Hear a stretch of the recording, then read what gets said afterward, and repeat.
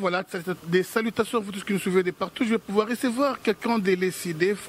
Euh, il est aussi de la Mouka, bien sûr. Quand on dit ECD, on voit la Mouka. Il s'agit de Serge Ouello. Serge Ouello, un poids lourd, un leader. Serge Ouello, aujourd'hui, il ne s'est pas retrouvé. Je ne sais pas, peut-être qu'aujourd'hui, il va prendre la décision de, rejoindre Cash. Mais pas trop de commentaires. Je salue d'abord mon invité. Bonjour Serge Ouello. Bonjour mon frère. Euh, je suis content de te retrouver après tant d'années. Et les spectateurs euh, doivent comprendre que c'est mon ancien collègue de classe au secondaire. Donc je l'ai retrouvé. Il euh, ne faut pas suivre ses commentaires, hein, c'est juste une introduction. Je m'appelle Serge Ouello, cadre de l'ECD, engagement pour la citoyenneté et le développement du président élu Martin Fayoulou Madidi, coordonnateur adjoint de la MOUCA ici à Kinshasa. Donc euh, on tient le coup on est ici euh, au Grand Hôtel à Kinshasa. Je suis prêt à répondre à toutes sortes de questions. Eh bien, eh voilà, je crois qu'il y a quelqu'un qui n'a pas de collègue de classe. Cet homme s'appelle Kabila. Il n'a pas de collègue de classe, même de l'école primaire. Alors, je ne sais pas, il a, été, il a étudié où? Serge Ouilo, qu'est-ce que vous reprochez d'abord à la famille politique de Kabila, avant de parler du président Félix Tshisekedi? Non, ben, moi, j'ai toujours euh, reproché l'absence du patriotisme dans le chef de nos compatriotes qui travaillent à côté de ce monsieur, ce monsieur qui a été à la tête du pays et qui a détruit ce pays durant 18 ans. Alors je pense que ces gens-là qui sont à ses côtés, nos compatriotes, ils pensent d'abord à leur ventre. Ce sont des nombrilistes. Au lieu de penser nation, au lieu de penser euh, Congo, ils pensent à eux, à leur famille restreinte. Alors je pense que euh, je les qualifie de euh, véreux à l'esprit tordu. J'assume la paternité de vos propos. Et j'ai dit que mm, c'est des genres de, des politiques qu'il faut éradiquer dans, dans ces pays. Ce sont des politiques qui ne sont là que pour les intérêts. Voilà. Serge Ouello, en 2011, un grand leader. Après 2011, Serge Ouello, j'ai senti et j'ai vu un rabais. Je ne sais pas c'est dû à quoi?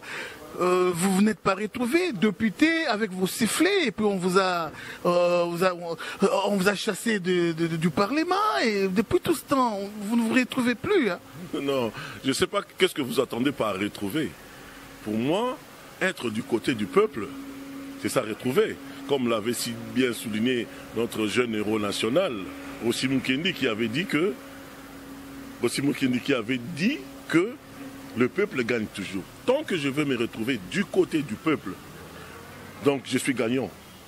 Nous sommes des, vainqueurs. Alors, après 2011, comme vous le savez, moi, mon combat, euh, mes méandres ont commencé depuis mon retour ici. Vous savez, en 2006, euh, tout le monde sait qu'au Canada, quand j'avais eu à défier le président Rwandais Paul Kagame face à face, où je lui ai dit des choses en face, j'ai été arrêté au nom du Congo, au nom des femmes violées à l'est du pays et j'ai été acquitté. On a gagné le procès. C'était la première victoire du Congo face au Rwanda de Kagame. Alors après cela, je suis venu ici où j'ai battu campagne. J'ai été élu massivement. Tout Kinshasa s'est massivement. Vous avez validé ah, J'ai siégé. Après trois mois, vous avez vu, j'avais posé des actes qui sont parlementaires. J'avais bloqué l'Assemblée nationale. On devait manifester contre toutes les injustices par rapport à l'imposition de, de la majorité de l'époque. Alors, euh, ils se sont décidés, ils, ont comploté contre moi. Vous savez, c'est une décision qui vient de loin. Vous savez, le pouvoir euh, sortant, entrant, je l'appelle sortant, Kabilis, il est sorti, mais il est encore là. Ce pouvoir sortant, entrant, ce pouvoir Kabilis, avait tout fait pour euh, m'invalider. J'ai été invalidé, mais je n'avais pas baissé, les bras. Je suis allé déposer une plainte contre la République au niveau de l'Union interparlementaire. J'ai gagné la cause et l'État congolais a été sommé de réparer les préjudices que j'ai subis. Mais jusqu'à ce jour, comme vous le savez, tant que ces gens-là sont ici, ces infiltrés, ces, bras de Kagame, ils, me tiennent la tête. Moi, je vous dis, moi, je suis du côté du peuple. En 2018, j'étais candidat encore à Moamba. Vous savez ce qu'ils m'ont fait? Tout mon matériel de, de campagne, d'une valeur de 11 000 dollars, saisi à l'aéroport, à l'ANER de l'aéroport. Tout ça parce que j'avais écrit sur mes affiches que euh, Serge Ouello, l'homme qui défia le président rwandais Paul Kagame. Alors, voilà. Euh, Serge Ouello, parlons maintenant du président Félix Tshisekedi. Vous étiez ensemble. qu'est-ce qui a fait que vous, ne puissiez, vous, vous, puissiez vous séparer de lui? Parce que si il vous arrivez de le joindre et de construire une force, vous devez facilement déboulonner les kabylistes. Mais vous, vous êtes, vous êtes isolé de lui, vous êtes séparé de lui quelque part. C'est l'abandon de votre part, vous êtes aussi coupable. Non, mon frère, vous savez, il est ici question de principe. Vous savez, un des faits qui fait que ce pays ne décolle pas depuis son indépendance à ce jour, c'est la crise de légitimité. Lumumba avait gagné son élection quelques mois, il a eu la majorité, on l'a tué. Après, Mobutu a confisqué la démocratie. Mouzé est venu, il n'a pas pu organiser les élections. 2006, tricherie, le pays n'a pas décollé. 2011, tricherie, le pays n'a pas décollé. 2018, tricherie, le pays ne peut pas décoller. Alors nous, nous sommes euh, étant derrière le président élu, le véritable président élu, Martin Fayoulou m'a dit, nous nous sommes dit, nous sommes dans un combat pour les générations futures. Cela veut dire nous ne voulons pas léguer aux générations futures les jeux de gagne. Pourquoi? Parce que tant que euh, ce pays ne sera pas dirigé par ceux-là, par celui, il y a une recette qui n'a pas encore été servie aux Congolais. Que ce pays soit dirigé par celui qui a réellement gagné. En 2011, il y a tricherie, le pays n'a pas décollé.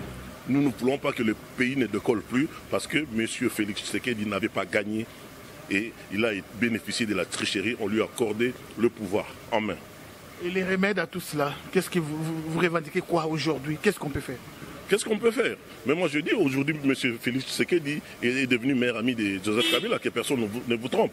Quand les partisans de Félix, de l'UDPS, les combattants de l'UDPS se battent avec euh, ceux du PPRD, mais ils sont dans la distraction. Parce que les deux hommes, M. Kabila et Tshisekedi, sont des meilleurs amis aujourd'hui. Ils sont des potes aujourd'hui, que personne ne vous montre. L'un protège l'autre. Alors nous, nous disons que ce peuple doit se prendre en charge. Nous allons travailler, et moi, en tant que secrétaire national chargé de des mouvements associatifs d'action et des comités de résistance, nous allons bientôt, vous, vous aurez les programmes des manifestations d'envergure ici à Kinshasa afin que le peuple récupère son pouvoir. Et ce combat, nous l'avons, ce combat a été initié depuis 2011 par le président Étienne Tshisekedi de Russe Mémoire, le grand crâne, le grand prêtre, le grand esprit. C'est vrai, ce que Boyondi Mambolo Kondi Matambangunae accepte quand même que Félix a fait quelque chose. Depuis qu'il est au pouvoir, ça fait huit mois l'éducation gratuite, euh, école gratuite, euh, pas de minerval, il y a des routes euh, qu'on répare ça et là, les sauts de moutons, et puis tout cela, accepter quand même que l'homme a la volonté vraiment de reconstruire les Congo.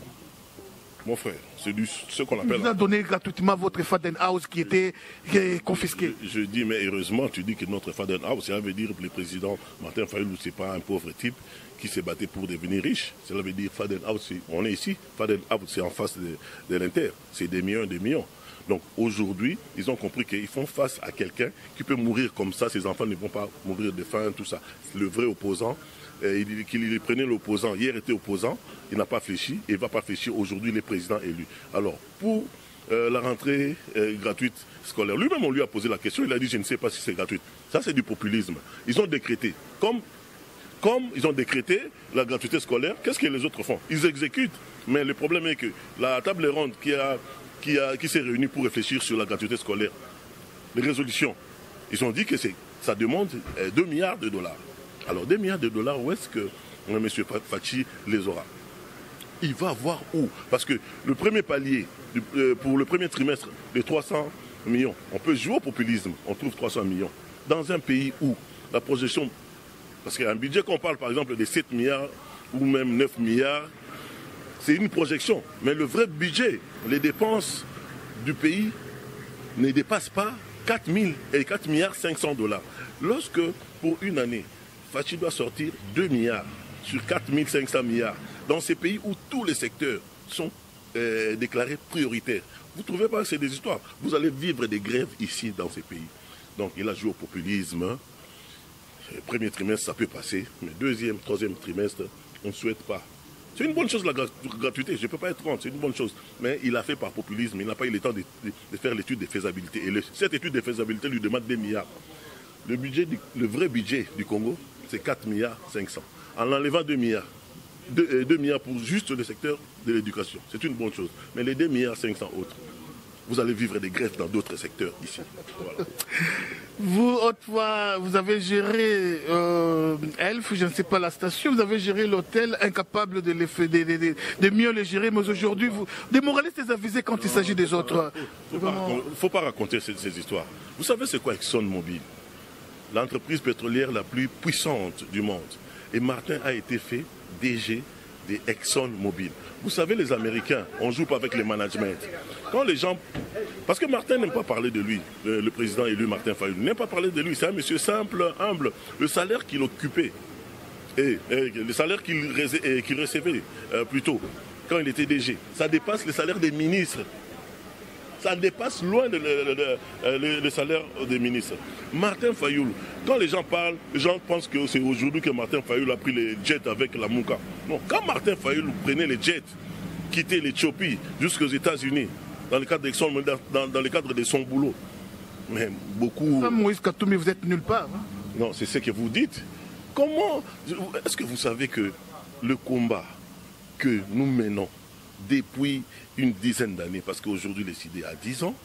Est-ce que c'est Moïse Katumbi qui a fait que nous existions? Serge Ouello, il existe parce que Moïse Katumbi est là? Jamais. Mais c'est notre partenaire, c'est un monsieur bien, c'est un monsieur qui a un grand cœur, qui aime le Congo, sauf que on est ensemble, comme on dit, l'unité dans la diversité. Nous, nous sommes dans la logique de la résistance. Que la Mouka en Afrique du Sud Les est dans la logique de la résistance. Nous avons gagné euh, euh, euh, comment on appelle, les élections. Voilà même notre plateforme dynamique de, l'opposition, hier, aujourd'hui, c'est dynamique pour la vérité des urnes. Donc, nous laissons le terme dynamique de l'opposition à M. Fachi et à M. Kabila parce, parce qu'ils ont échoué. Que fait la, la MOCA en Afrique du Sud? Ah ben, En politique, on a toujours des partenaires. Lorsqu'on reçoit une... Partenaires des xénophobes En Afrique du Sud, c'est à Landos c'est les Nations Unies, c'est dans le cadre des Nations Unies. Et j'ai saisi cette occasion pour, cette occasion pour dénoncer les actes, des, les actes xénophobes perpétrés en Afrique du Sud contre les étrangers. L'Afrique du Sud, c'est un pays ami. Nous, le Congo avait participé, avait soutenu le combat de Mandela quand il était en prison. Et la, la, liberté de Mandela est aussi le résultat du, gouvernement euh, congolais à l'époque à travers le président Mobutu. Aujourd'hui, je suis déçu de voir que nos frères sud-africains sont en train de nous payer en monnaie des singes. Nous voulons la paix, quoique c'est un peuple qui n'a pas été préparé à travers une transition, parce que quitter l'oppression à la liberté, ça a demandé une certaine transition. Ils n'ont pas été préparés. Mais nous pensons que le gouvernement sud-africain va prendre euh, ses responsabilités. Et nous sommes euh, de cœur avec nos frères congolais et autres africains victimes de la barbarie. Merci beaucoup. Il nous reste moins d'une minute pour vous libérer. Je crois bien que euh, qui nous suivait de partout. La gratuité de l'enseignement, les enfants de Serge Ouel en profitent aussi.